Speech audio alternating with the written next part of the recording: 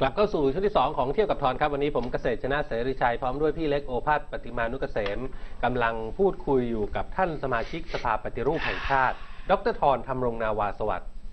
เป็นสมาชิกที่อาจจะเรียกได้ว่าไม่ใช่อายุน้อยที่สุดเนอะไม่แต่ว่าจิตใจจิตใจ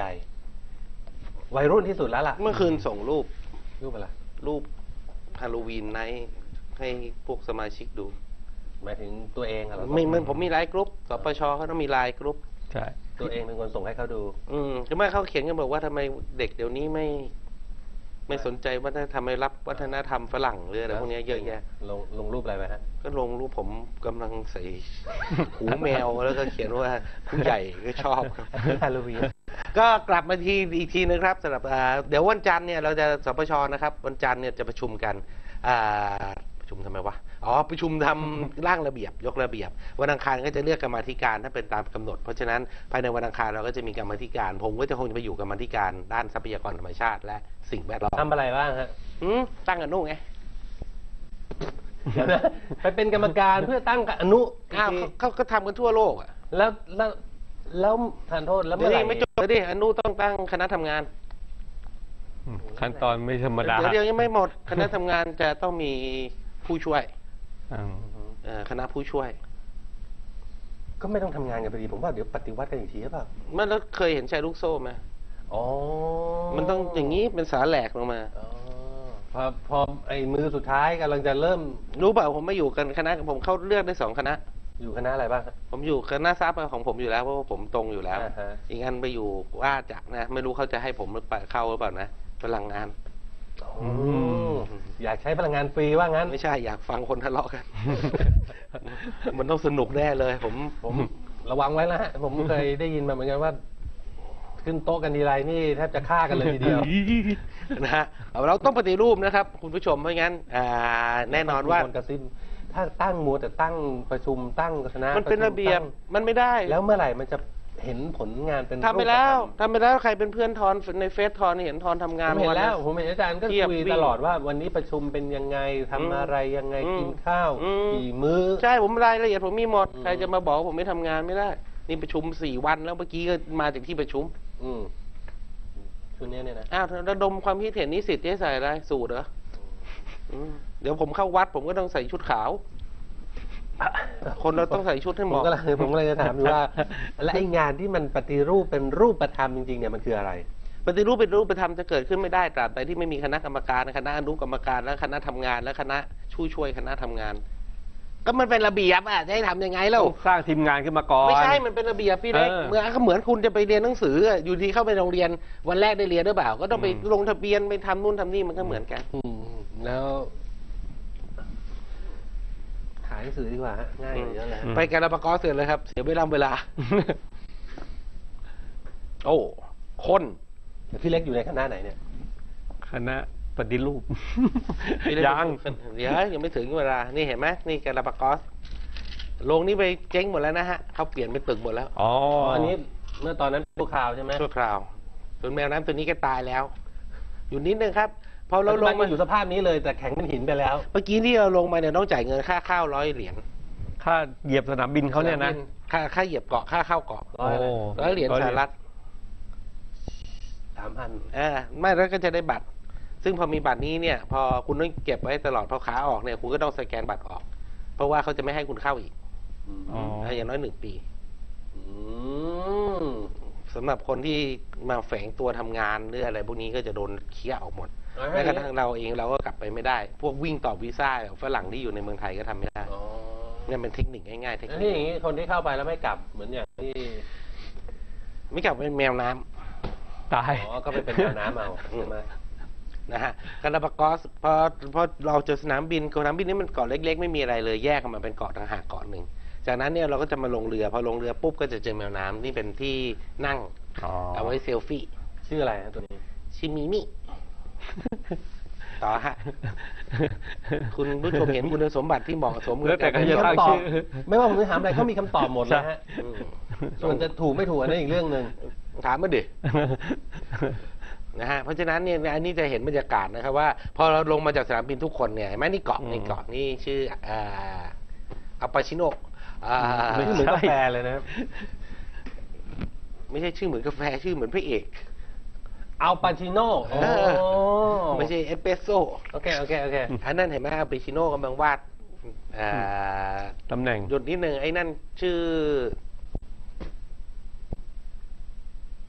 อ้าวลืมเลย โอ้โห ผมว่าเนี่ยอาจจะเป็นเพราะว่าผมจำมันมันเออเลอร์ก็ได้นะข้อมูลมันเริ่มสับสนเยอะไปหน่อย ผมผมฟังประชุมมาห้าวันต่อกันตั้งแต่เจ็ดโมงเช้ายันใส่สามทุ่มสี่ทุ่มมันชื่ออะไรไอ้นะ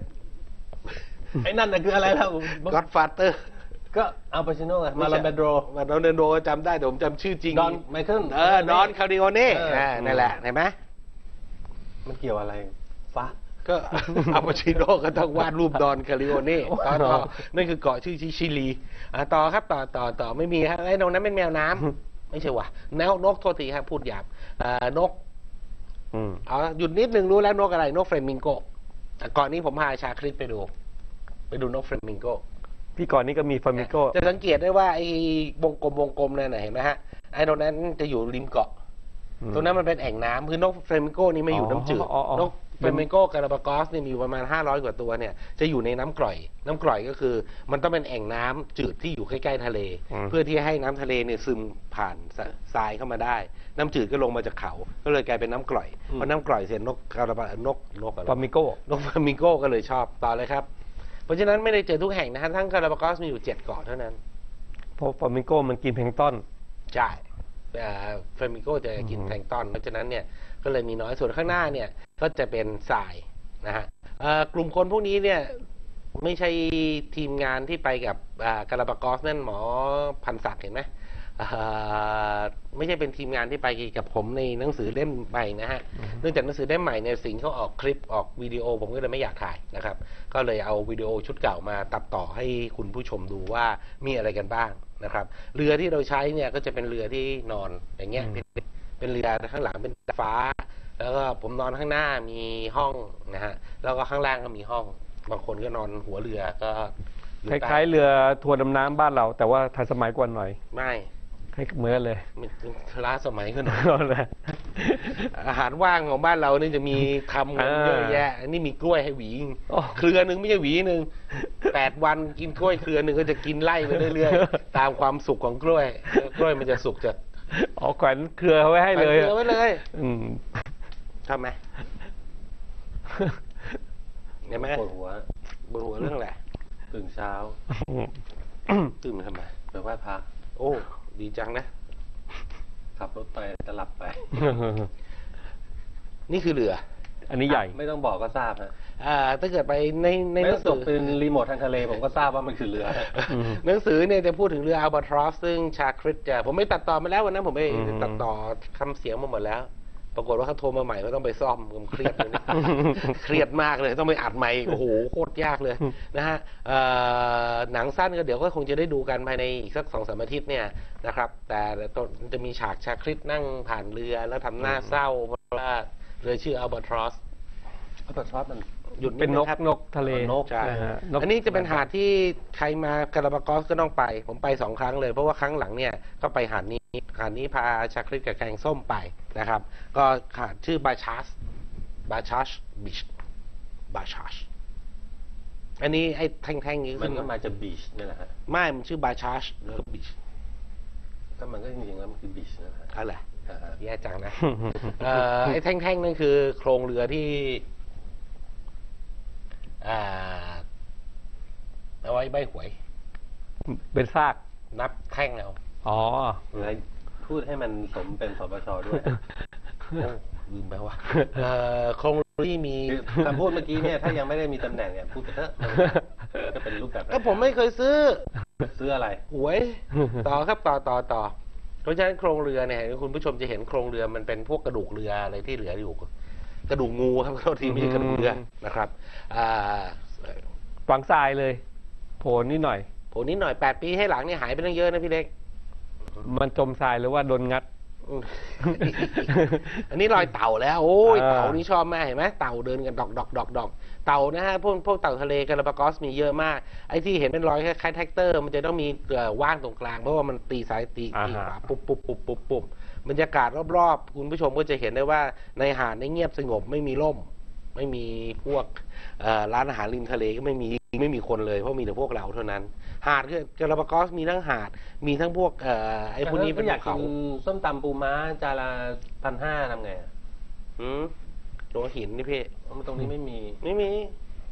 หมดเลย เบียร์หัวหินสิพี่พัทยาจอมเชียนเชิญเลยนะฮะเพราะฉะนั้นภาพนี้จะเห็นได้ว่าจริง ๆ แล้วกาลาปากอสเนี่ยจะเป็นเกาะลักษณะเนี้ยครับต้องการจะให้คุณผู้ชมดูว่ามันโล่งมันกว้าง มันเหมือนกับเป็นอะไรที่โผล่มากลางทะเลที่รอบๆผ่านห่างไปอีกหนึ่งพันกิโลเมตรรอบด้านเนี่ยโล่งหมด เพราะฉะนั้นไม่ต้องแปลกใจว่าทำไมทั้งปลาทั้งนกหรือสัตว์ต่างๆเนี่ยเข้ามาอาศัยอยู่แถวนี้ เพราะว่ามันไม่มีที่อื่นนะฮะเอ่อนกก็จะต้องมาทำรังที่นี่จะไปทำรังที่อื่นก็ไม่รู้จะไปที่ไหนบรรยากาศบนเกาะเนี่ยก็จะเรียบเห็นไหมอือฮึไม่มีต้นไม้ไม่เหมือนป่า เหมือนเกาะเต่าเกาะซิมิลันไม่ใช่นะครับ จะเรียบเป็นเพราะว่ามันเป็นภูเขาไฟที่เกิดมาไม่นานอืมต้นไม้ก็เพิ่งขึ้นนะฮะต้นไม้มันก็เลยจะเป็นต้นไม้เตี้ยๆเป็นไม้ล้มลุก นะฮะรอบๆก็จะมีสัตว์น้ำอยู่มากมายอย่างที่ผมบอกไว้ เช่น ฝูงโลมาข้างหลังนี่ก็เจอเจอใกล้กว่าครั้งแรกอีกอืมนะฮะฝูงโลมาพวกนี้ก็จะโดดอยู่รอบๆเรือเรือไปไหนก็มีโลมาอยู่ เกือบจะตลอดเวลาอืมอยู่เรียกว่านิดนึงครับหากินอยู่รอบเกาะอยู่แล้วโลมาพวกนี้ใช่หยุดนิดนึงฮะ ตอนนั้นเนี่ย ตอนพี่ติ๊กไปผมบอกให้พี่ติ๊กลงมาข้างล่างอือฮึเพราะโลมามันไกลพี่ติ๊กไม่รู้พี่ติ๊กขึ้นไปอยู่บนยอดเรืออืมแล้วเป็นไงคือเข้าใจว่าโลมามันจะอยู่ไกลจริง มันอยู่มันตรงนี้แหละถ้าถ้าถ้าลงมาข้างล่างก็ได้ถ่ายใกล้ๆๆเลย เออใช่อ๋อมันอยู่ไกลไปขึ้นอยู่สูงไปแต่พี่ติ๊กหล่ออืมใช่ไม่ผิดอะไรใช่ไหม ไม่ผิดคนหล่อไม่เคยผิด อืม ต่อฮะต่อนะฮะเพราะฉะนั้นเนี่ยพอขึ้นไปบนหาดชายฝั่งปุ๊บเนี่ยเราก็จะพบสัตว์ต่างๆ สัตว์กลุ่มแปลก ชนิดแรกของกาลาปากอสก็คือปูมันจะแปลกมากไหมอาจารย์มันโดดได้พี่เล็กเอ้ยเอาแล้วปูที่มันโดดเออนะเพราะมันจะโดดสามผลแล้วก็บิน เฮ้ยน่าไป ผมเหมือนปูใบบ้านเราตัวมันสีแดงอย่าไปดูถูกมันตัวใหญ่ด้วย ตัวใหญ่อ่าถ้าปูม้า เหมือนแสมหินอ่าฮะฮะ เหมือนปูพวกแสมหินบ้านเรา แต่แต่แต่มันสีแดง บ้านเราสีเขียวตัวเล็กไอ้นี่อ่า สีแดงตัวใหญ่แล้วมันจะชอบโดดบู้บู้บู้นะฮะเพราะฉะนั้นจะเห็นว่าปูเนี่ยเต็มไปหมด นอกจากปูแล้วเนี่ยตามชายหาดต่างๆ บางหาดเนี่ย อันนี้เห็นไหมเนี่ยหาดจะเป็นสีแดง เพราะว่ามันมีแร่ธาตุอยู่ นะฮะอ่าฮะอ่ามันเป็นภูเขาไฟอีกแบบหนึ่งซึ่งตามหาดสีแดงนี่ต้องดูกันดีๆไอ้ตัวนี้พี่เล็กน่าจะรู้จักนะ ไม่รู้จักเหรอแต่เมืองไทยไม่มีอยู่นิดนึงฮะโอ้เห็นไหมฮะปูกับดับปูกล้ามดาบอะไรวะนก อ๋อนกโหตัวเล็กจัง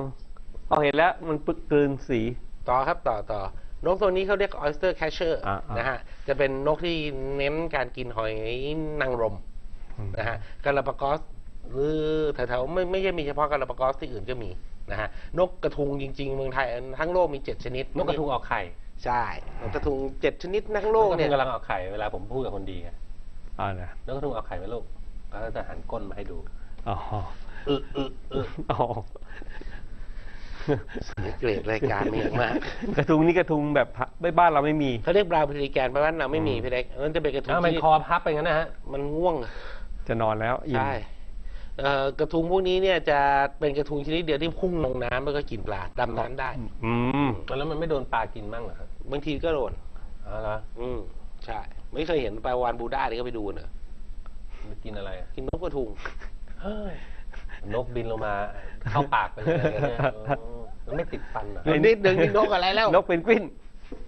เป็นกวินกาลาปากอสในเรื่องเนี่ย เขียนไว้ยาวมากเรื่องพี่ติ๊กพบเพนกวินอืจะมีลีลาของพี่ติ๊กที่ว่ายน้ำเข้าไป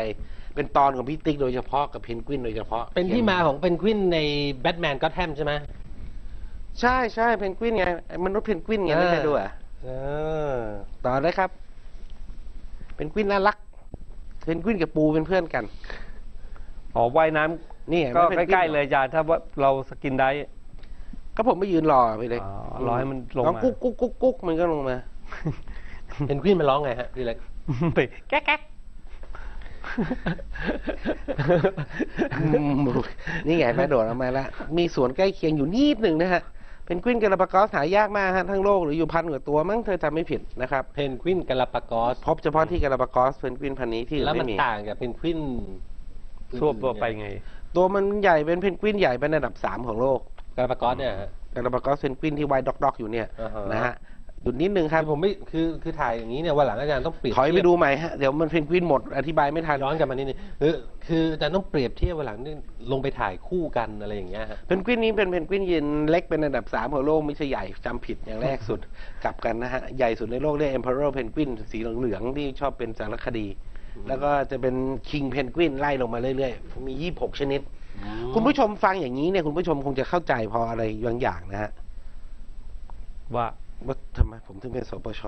อ๋อ รู้หมดอะอันนี้มันใหญ่กว่าปิกมี่หน่อยเองเพนกวินปิกมี่ มีไหมอาจารย์ ไม่มีอ๋อเหรอเพนกวินนี่เล็กนี่เป็นผู้ช่วยอาจารย์หรือเปล่าเนี่ยเพนกวินปิกมี่ฮะ blue penguin ครับเพนกวินเล็กที่สุดในโลกที่เรียกอ่า blue penguin พบที่แถวเมลเบิร์นต้องไปดูที่ Phillip Island แต่กาลาปากอสนี่อันดับสามของโลก แต่ที่แปลกก็คือGalapagos penguin จะเป็นเพนกวินที่อยู่ในเขตร้อน ก็คืออยู่บนเส้นศูนย์สูตรได้อืมอ่าเพราะว่าน้ำเย็นมันไหลมา เพราะงั้นที่นี่จะเป็นเพนกวินบนเส้นศูนย์สูตรเราสามารถไปดำน้ำได้ ซึ่งถ้าเกิดเทียบขนาดต้องซื้อหนังสือแล้วเพราะว่ามีพี่ภาพพี่ติ๊กกับเพนกวินอยู่หน้าดันอืมมีชาคริสก็มีน้องคริสก็มีมีหมดเลยเพนกวินนี่เป็นตัวเอกของหนังสือผม แต่วิดีโอก็มีอยู่บ้างเอ่อเราสามารถลงไปว่ายกับเขาได้ เราสามารถเลี้ยงเขาได้ไหมไม่ได้ เพราะอะไรถ้าสมมติเราทำมันห่วงห้าม ห้ามออกอยู่แล้ว อันดับแรกห้ามจับ อะแล้วอย่างอย่างสวนสัตว์หรืออะไรที่เราเคยอันอันนั้นเป็นเพนกวินโหลเฟย เป็นเพนกวินสายพันธุ์จีนเหรอโลเฟย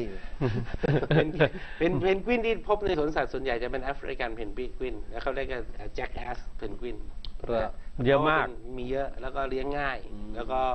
เอ่อค่อนข้างทนอืมแต่ตอนนี้พรบคุ้มครองสัตว์จะออกแล้ว เพราะฉะนั้นใครคิดจะชำเราเพนกวินก็ควรจะต้องพิจารณาไว้ ใครมันจะเป็นไม่รู้ว่าเป็นลูกหมาขี้เลื้อนยังโดนชำเราได้ผมก็เลย เลยคิดว่าเพนกวินอาจจะมีคนมาชำเราว่าคือผมว่าปัญหาของ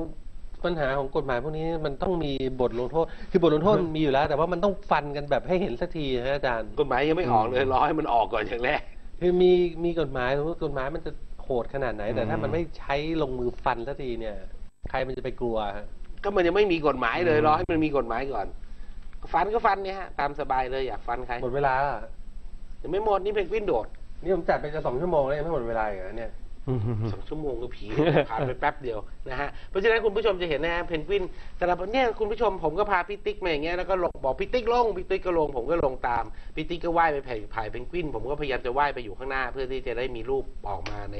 Navigator ซึ่งแล้วแล้วสังเกตไหมว่าพี่ติ๊กทำยังไงพี่ติ๊กไม่เห็นพี่ติ๊กสนใจแต่เพนกวินพี่ติ๊กกรี๊ดมากพี่ติ๊กพุ่งไปหาเพนกวินอย่างเดียวพี่ติ๊กไม่สนใจโลกภายนอก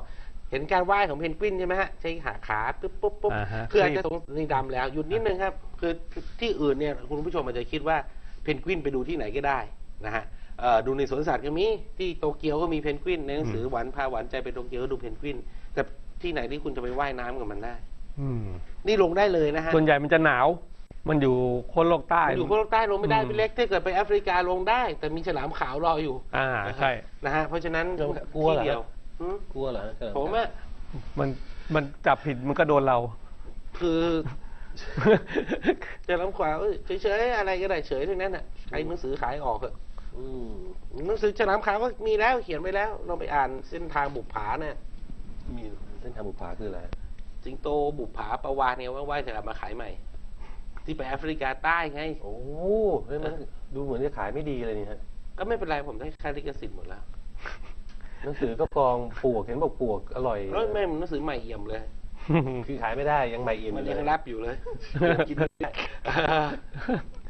เออนั่นเป็นความผิดพลาดครั้งเดียวในชีวิตที่ดันคิดจะเขียนหนังสือแอฟริกาทั้งที่มันสวยมาก แต่ก็เข้าใจฮะอื้อหือเดี๋ยววันหลังมาคุยกันดีกว่ายิ่งตอนนี้มีตอนนี้มีพวกโรคเอ่ออีโบลากับมโนวาเยอะนะฮะก็เลยโรคมโนวาทำให้รู้จักอะ โรคมโนวานี่มันเป็นอะไรส่วนใหญ่มักจะเป็นกับคนที่มีตำแหน่งเสนาบดีอะไรพวกนี้ใช่ไหมไม่ใช่ครับคนทั่วไปที่ไม่คิดจะอ่านข้อมูลอะไรเลย แล้วก็ด่าเขาอย่างเดียวอะไรประมาณอ๋อโอ้โรคมโนวาอืมนี่กำลังมโนด่ามโนเยอ๋อมโนว่ามโนอื้อหือพี่เล็ก ผมคิดตั้งอ่านตั้งนาน ต่อครับเพนกวินเพนกวินกวินกวินเพนกวินเห็นไหมฮะอ่าเวลาพอดำไปปุ๊บก็กลายเป็นตัวนี้ เหมือนกับพอโผล่มาก็เห็นตัวนี้ เขาเรียกนกนางนวลไม่เล็ก อันนี้ก็เป็นนกนางนวลกาลาปากอสนะฮะหนึ่งในสิบของสัตว์มหาหายากประจำกาลาปากอสเราเห็นเพนกวินกันมาแล้วคราวนี้เรามาดูนกนางนวลนกนางนวลที่นี่เนี่ย เรียกว่านางนวลฮูก มันต้องแปลกแน่ๆเลยหยุดเนี่ย ลองงูกมันเป็นนกนางนวลที่หายกิน เหมือนนกฮูกออกกลางคืน ใช่เป็นนกนางนวลอืมพันธุ์เดียวในโลกที่หายกินกลางคืนยังพบเฉพาะที่กาลาปากอสเท่านั้น มันกินปลาหมึก อ๋อ มันจะว่ายล่อนไปตามตอนคืนอ่าฮะมันจะล่อนไปแล้วจะดูพลายน้ำของปลาหมึกแล้วก็จะพุ่งเข้ามาจับปลาหมึกกินปลาหมึกนะมันจะมีเรืองแสงเวลาว่าย ใช่อือฮึพอกลางวันมันก็จะมาอือฮึ ทำอย่างเงี้ย จูจีกันเห็นไหมอืม อันนี้สร้างรังออกลูกนี่เกือบตาย เห็นลูกไหมฮะอยู่นิดนึง อยู่ริมน้ำเลยอะนนะฮะเกือบตายอะข้างล่างเป็นน้ำเข็นข้างล่างใช่ไหมฮะข้างล่างข้างล่างนี่เออเป็นคลื่นตุ้มตุ้มตุ้มตุ้มผมก็ ด้วยความคิดถึงคุณผู้อ่านก็ยอมตายอ่าไต่หน้าผาลงไปตายหน้าผาด้วยแล้วยื่นหัวออกมาด้วย อ๋อเพื่อที่จะยื่นกล้องมือ อันนี้ถ่ายจากท็อปวิวจะเห็นว่ายื่นกล้องออกมา แล้วก็ถ่ายลงไป เห็นลูกนกนางนวลถ้าน้ำขึ้นนิดเดียวก็ไปกับน้ำเลยเนี่ย มันไม่ใช่น้ำคือข้างล่างมันหน้าผาไม่ได้อ๋อเห็นขึ้นให้มันลูกเล็กๆนะอ่าฮะ อันนี้หน้าผาสูงไปสิบกว่าเมตร ถ้าเกิดตกไปก็ไม่ต้องคิดแล้ว นี่ไม่ใช่ถ่ายนกนางนวลกับหน้าผาติดกันนี่นะคืฮะอภาพสุดท้ายที่ รู้สึกในวันนั้นใช่ไหม ไม่แล้วที่สำคัญสุดก็พอวันพอวันต่อมาก็แบบไม่มีแล้ว ไม่มันเลี้ยงกันเกลื่อนเหมือน แม่ไก่ในเล้าวอะ แล้วก็เลยคิดว่าทำไมต้องไปคังโงกใช่ เลี้ยงตายเดี๋ยวนี้เขาใช้ขายยื่นไปก็ได้ อันละร้อยกว่าบาท วันนั้นมันไม่มี แปดปีพี่เล็อ๋กอแบบดี แปดปีเกือบเก้าปีแล้วพี่ได้เอาขาตอนนั้นขืว่าอะไรกล้องมือถือยังไม่มีเลยซ้ำ ไม่มีรุ่นนั้นยังรุ่นอะไรนะ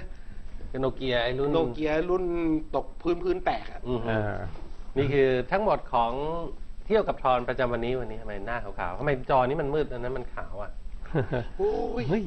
เขาแสให้งมันสะท้อเฉนดสีโอ้เออพิธีกรก็ดูว่าตาบอดสีหรือเปล่าใครที่สนใจอยากจะรู้เรื่องราวของกาลาปากอสเพิ่มเติมนะฮะสามารถไปดูกันได้ตามร้านหนังสือทั่วไปเล่มนี้ครับ เมื่อเปิดโลกจึงเปลี่ยนนะฮะหรือถ้าจะสั่งซื้อก็ จากราคาเต็ม 380 จะเหลือ 320 บาท ถ้าเป็นการสั่งซื้อนะฮะ 082 782 8353 แล้วก็ 082 782 8356 รวมไปถึงการสั่งจองอาเซียนสมายทั้งสองเล่มทั้งภาคภาษาไทยภาษาอังกฤษนะฮะ